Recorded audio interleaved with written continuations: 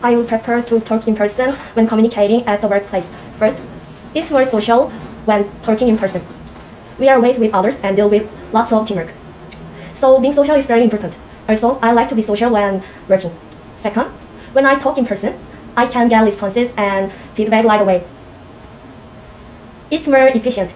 This is because when using emails, I, we don't check our emails often and it takes time to receive responses. Lastly, it's more natural when communication in person at the workplace.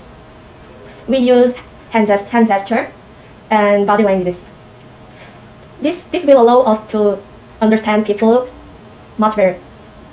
So I would prefer to talk, talk in person when communicating at the workplace.